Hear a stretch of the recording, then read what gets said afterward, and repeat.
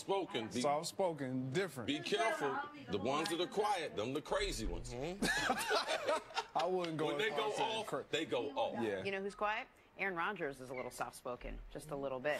After missing seven games with a broken collarbone, Aaron Rodgers will reportedly start Sunday against the Panthers. He posted this picture on Instagram saying, quote, it's been a long road from that day to this, but I'm happy to say I've been medically cleared to return. Thanks for all the love, support, prayers, and well wishes over the past eight weeks. And a big thank you to Dr. McKenzie and our incredible training staff. Hashtag rise again.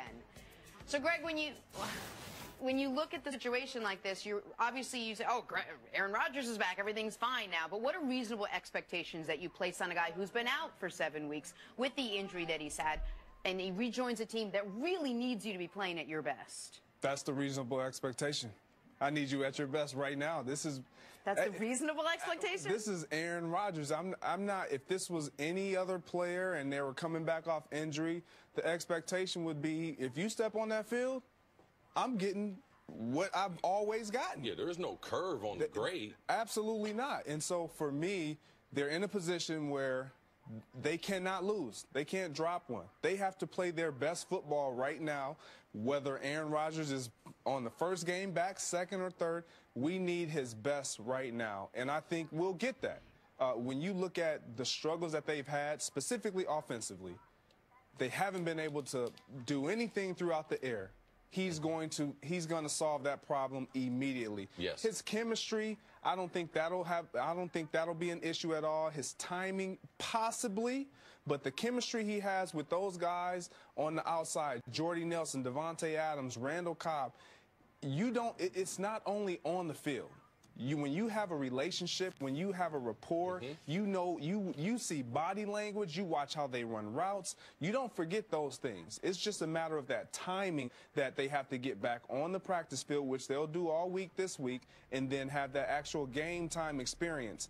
The my it, my concern for Aaron Rodgers and his level of play is not that.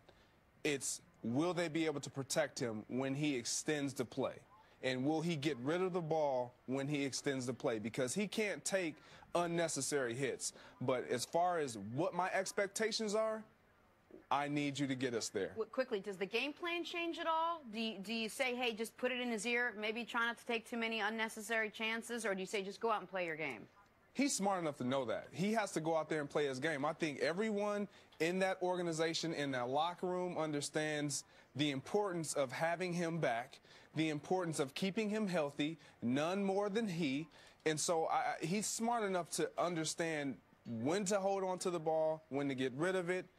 But I will say it again. I need that greatness right away. I don't care if he didn't practice once this week. Mm-hmm. Uh, when he steps on that field on Sunday, I expect Aaron Rodgers to be there. So here's here's the I guess the the bright side of analyzing this. We've got a really good comparison on what to expect. Aaron Rodgers, three years ago, four years ago, when he missed seven weeks with a broken collarbone, came back. The situation for the Packers was this: Oh, it's week 17. You have to win to make the playoffs. Hey, Aaron, go get us in the playoffs.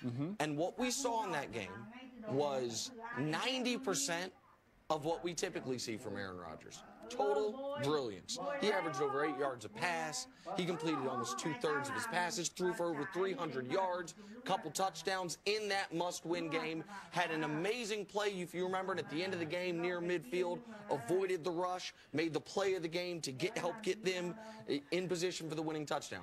The one, yeah, but that was non typical Aaron Rodgers was that was only the second time all season he had multiple interceptions in a game. So where you saw rust was not on his ability to make great throws, was not on his ability to lead his team up and down the field. Where you saw a little bit of, oh, he's been gone a couple months, was on the same page as his receivers in sync the way you typically are. Because one of the marks of Aaron Rodgers' true greatness is not just the Hail Marys, is not being able to make every throw. He takes care of the football as well as any great quarterback we've ever seen. So I looked at that Bears game as a good indicator on what we could see in this Panthers game, which is Rodgers probably going to be out there and be able to throw for a bunch of yards, maybe have a slightly higher likelihood for mistakes than a typical Aaron Rodgers game. Uh, there would be another group that would argue the reason why he made those mistakes because, as you said, they were in a must-win situation. When you're in a must-win situation, you're not in a regular season game. You have to try to force the ball into traffic. You have to try to make big plays. But what are my expectations from him? This is this is tough to do. All right? He had surgery on a broken collarbone. Now, the Packers and Aaron Rodgers decided to take a more aggressive approach. All right? He's got 13 screws in his right shoulder and two plates. All right, that's the most aggressive approach anyone's taken to this injury. Now, it helps the injury heal faster. So, yesterday when he got the CT scan, now they say, oh, the bone is healed. Yeah, that means with a broken bone, that means the bone is 80% healed. A doctor, an NFL doctor, will allow you on the field. So, his shoulder's 80% healed. So, what's reasonable expectation? I mean, he, he's still human. My, he can't get hit. Like he cannot get hit and land on his throwing. His last um, collarbone surgery, or he didn't have surgery, it was his left. So even if he took a blow, it didn't affect his throwing motion. So for me, I want to watch his accuracy early in the game. Also, if the play's extended outside the pocket or he's running, I'm watching Aaron Rodgers to see if his instincts are exactly like they were before. Because Aaron, he takes a lot of chances. He'll act like he's going out of bounds. He'll turn it upfield. He'll run sometimes when you don't expect him to. So for me, those are the things that I'm really going to watch. Now, you can't duplicate the speed that Carolina and their defense that they're going to have at 1 o'clock on Sunday. So that right there, expectations, we expect him to be great because he has been. And this is not the NBA. Kawhi Leonard, he came back from injury last night. Oh, we're playing 15 minutes, 16. No, in the NFL, you're going in the game until you get hurt again. That's the way we come back from injury. You're going to play as long as you can and play as good as you can. So these are the things that I'm watching. Expectations, I'm not even going to say that, but when the plays are extended and how many times Carolina can contact Aaron Rodgers. Well, Greg, I mean, sure, theoretically, Aaron Rodgers is going to go in and win the game. And theoretically, you're not going to change the game plan because it's Aaron Rodgers and he's done this before and he knows how to do it. But is there a small part of you that's going to say, Aaron Rodgers, you do as much as you can, but we're going to maybe lean a little bit more on the running game or this, this a, a few other options that we have that maybe we wouldn't have need to go to seven weeks ago that now we're, we might do that? Of course, they've established a running game. They have a running young, game. Absolutely, Yeah. with some young studs at running back. And so I think you have that to lean on, and so you can kind of slowly progress him. Into, but he's not.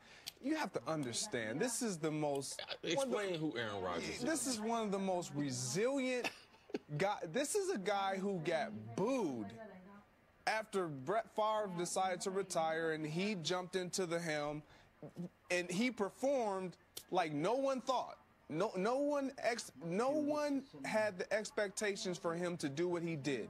This is who he is. He comes in, doesn't say much. He's going to say all the right things. You know, I'm, we're going to take it easy. I'm going to get into. We got a running game, and then boom, we see the stat line, and it's something ridiculously great. This is who he is. So my my expectation is to see the resilience. Do I?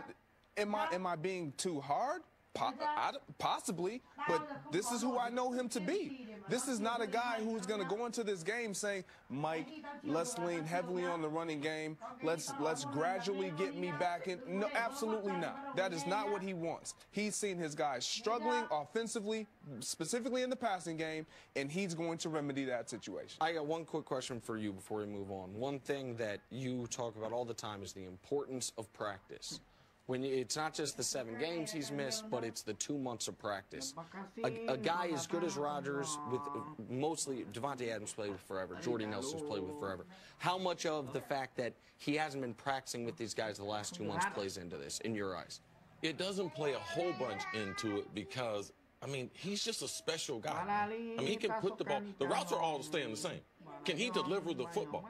I mean if Dan Marino, I don't know where Dan Marino is at right now. He can throw a slant, a dig, a goal, a post corner. They're just that gifted throwing the football. I mean he is man he is so awesome. Watch Jordy Nelson from witness protection to playing in the NFL. It's going to happen instantly. All right, Greg, stick around. Coming up, was losing Ezekiel Elliott good for Dak Prescott? Jerry